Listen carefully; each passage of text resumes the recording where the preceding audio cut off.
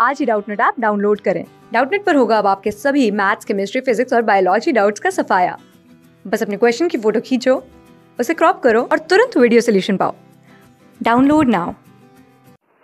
है स्टूडेंट्स तो आज जो क्वेश्चन मैं यहाँ पे सॉल्व करने जा रहा हूँ, उस क्वेश्चन में हमसे क्या पूछा गया है? मुझे यहाँ पे प्रेशर दे रखा है एयर का, एक कांस्टेंट वॉल्यूम गैस थर्मोमीटर में। तो यहाँ पे जो थर्मोमीटर हम यूज़ करने वाले हैं, वो हम यहाँ पे ध्यान रखेंगे कि वो एक कांस्टेंट वॉल्यूम थर्मोमीटर है। तो कांस्टेंट वॉल्यूम थर्मोमीटर मुझे गिवन है तो उसमें प्रेशर मुझे यहाँ पे दे रखा है पॉइंट एट मीटर तो पॉइंट एट मीटर ये मुझे दिया होगा किसी मरकरी कॉलम या ऐसी किसी लिक्विड के कॉलम का. तो पॉइंट एट मीटर मुझे कॉलम की लेंथ दी हुई प्रेशर की कब? ज़ीरो डिग्री सेल्सियस पे. और यही लेंथ हो जाती है one point zero nine three metre कब? हंड्रेड डिग्री सेल्सियस पे. तो ये डेटा मुझे यहाँ पे गिवन है. तो क्वेश्चन पूछ है कि जब इस थर्मामीटर को मैं यहाँ पे एक हॉट बाथ के अंदर लेके जाता हूँ तब मुझे वो प्रेशर की रीडिंग देता है वन मीटर तो मुझे बताना है कि उस समय इसका टेम्परेचर कितना रहा होगा। तो अगर इसको मैं यहाँ पे सॉल्व करूँ तो मेरे पास ये कांस्टेंट वॉल्यूम थर्मोमीटर है। तो वॉल्यूम मेरे पास क्या है? वॉल्यूम मेरे पास कांस्टेंट है। तो पी और टी में मेरे पास यहाँ पे रिलेशन जो आएगा वो कैसा आएगा? डायरेक्टली प्रोपोर्शनल अगर मैं आइडियल गैस इक्वेशन से देखता हूँ तो अगर मेरे पास वॉल्यूम कांस्टेंट हो जाए तो मेरे पास P is proportional to T हो जाएगा। यानी कि लीनियर रिलेशनशिप मुझे यहाँ पे देखने को मिलेगी। तो अगर लीनियर रिलेशनशिप मुझे यहाँ पे मिल रही है तो मुझे दो प्रेशर दे रखे हैं और दो टेम्परेचर दे रखे हैं। तो मेरे पास यहाँ पे अगर मैं इसको पी वन कहूँ, इसको पी टू कहूँ, इसको टी वन कहूँ और इसको टी टू कहूँ तो एक तरह से मैं यहाँ पे देखूँ तो मेरे पास P two minus P one जो होगा, जो ये डिफरेंस मेरे पास होगा और इसका मेरे साथ टेम्परेचर का अगर मैं रेशियो ले लूँ तो T two minus T one तो बेसिकली मेरे पास जो टेम्परेचर स्केल बनेगी, यहाँ पे मैं किसकी बात कर रहा हूँ? ये कॉन्सेप्ट तो हमने यहाँ पे यूज़ कर लिया। अब मुझे यहाँ पे क्रिएट करनी है एक टेम्परेचर स्केल एक टेम्परेचर स्केल यहाँ पे मुझे क्रिएट करनी है, क्योंकि थर्मोमीटर का मतलब ही क्या होता है मेरे पास? अगर कॉन्स्टेंट वॉल्यूम थर्मोमीटर मेरे पास है तो वो टेम्परेचर मेजर करने के यूज़ में आना चाहिए।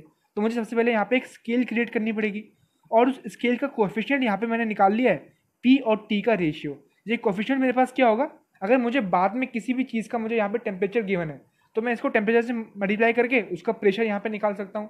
तो ये मेरे पास आगे बेसिकली स्केल का कोफिशियंट जो मुझे change in pressure per unit temperature यहाँ से मुझे बता देगा। तो इस कोफिशियंट की वैल्यू कितनी आएगी मेरे पास? तो जो मेरे पास कोफिशियंट मैंने अल्फ़ा अज्यूम कर रखा है तो ये कितना आ जाएगा? One point zero nine three minus point eight upon hundred तो बेसिकली कोफिशियंट मुझे और कुछ नहीं बता रहा, बस इतना बता रहा है कि कितना प्रेशर में चेंज आएगा अगर मैं टेम्परेचर को एक डिग्री से इंक्रीज करता हूँ। यानी change in pressure per unit degree और यही तो हमको चाहिए। तो इसकी वैल्यू मेरे पास यहाँ पे कितनी आ जाएगी? इसकी जो वैल्यू मेरे पास आ जाएगी वो आएगी zero point zero zero two nine three ठीक है, अब हम आ जाते हैं इसमें, जो हमारे पास अननोन सिचुएशन यहाँ पे दी थी। तो इसमें प्रेशर मुझे गिवन है, मुझे निकालना है टेम्परेचर तो मुझे प्रेशर दे रखा है, मुझे निकालना है टेम्परेचर तो मैं पी वन को यही अज्यूम कर लूँगा पी वन और टी वन यही अज्यूम कर लूँगा।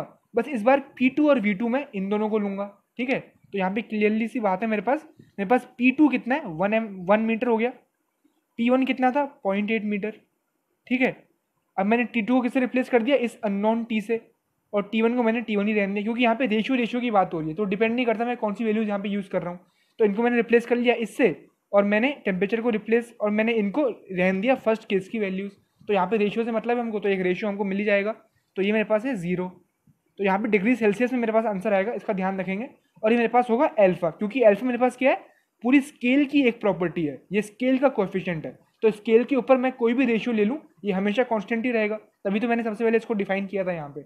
तो यहाँ पे मैंने कोफिशियंट वही यूज़ कर लिया। तो ये हो गया zero point zero zero two nine three तो यहाँ से टेम्परेचर की वैल्यू मेरे पास आ जाएगी। सिंपली ये कितना हो गया? Point two point two upon zero point zero zero two nine three तो अगर मैं इसको यहाँ पे सॉल्व कर लेता हूँ तो सॉल्व करके जो वैल्यू मेरे पास यहाँ पे आ जाती है, वो आ जाएगी sixty eight point two six degree Celsius तो sixty eight point two six degree Celsius मेरे पास आ चुका है। उस वाटर बाथ का टेम्परेचर जो मुझे क्वेश्चन में यहाँ पे अननोन दिया था और उसका टेम्परेचर हम यहाँ पे निकाल चुके हैं। तो ये जो वैल्यू है मेरे पास 68.26 डिग्री सेल्सियस यही उस वाटर बाथ का असली टेम्परेचर की वैल्यू हो जाएगी और हमारे क्वेश्चन का आंसर भी यही हो जाएगा। क्लास सिक्स से ट्वेल्थ से लेके NEET I I T JEE mains और एडवांस के लेवल तक। दस मिलियन से ज़्यादा स्टूडेंट्स का भरोसा। आज ही डाउनलोड करें डाउट नेट आप या व्हाट्सअप कीजिए अपने डाउट्स आठ चार सौ चार सौ चार सौ पर।